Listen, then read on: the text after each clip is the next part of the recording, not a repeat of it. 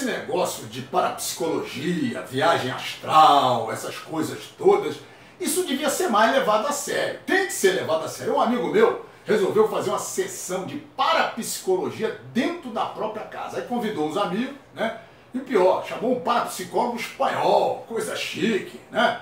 E aí um dos amigos dele foi convidado a sentar numa cadeira e a plateia lá olhando.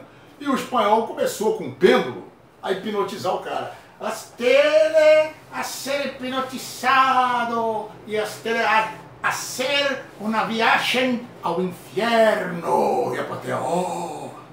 E usted vai contar para todos acá como é o inferno. Usted já chegou no inferno. Diga o que sientes. Aí o cara lá sentadão, oh meu Deus, não, gente morrendo, assassinada, violência, violência, não, me tira daqui. E aí o, o espanhol, calma, calma, diga mais o que sientes no inferno. E o cara, oh calor desgraçado, muita sede, muita sede, o espanhol. Então beba água, agora, beba água. E o cara, não, essa água não, gosto de terra, gosto de planta, oi, gosto de merda, tem cheiro de merda nesse lugar por todos os lados, me tira daqui, me tira daqui. Um amigo meu acendeu a luz e falou, ah, acaba, acaba, acaba, para a sessão, para, para.